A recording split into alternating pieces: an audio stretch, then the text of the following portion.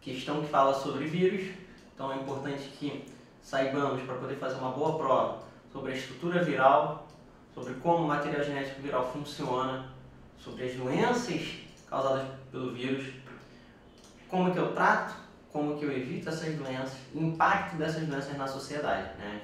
as causas socioeconômicas que vão influenciar o aumento da incidência é, dessas viroses. Então olha o que a questão fala. Ser humano tem travado batalhas constantes contra os vírus. A mais recente é contra o vírus H1N1 que causa a gripe suína. A respeito do vírus, assinale a alternativa correta. Letra A. São todos endoparasitas celulares. De cara já é a opção correta. Lembra que um vírus ele não tem metabolismo próprio, ele só consegue originar, ele só consegue orientar a formação de novos vírus quando ele está dentro da célula.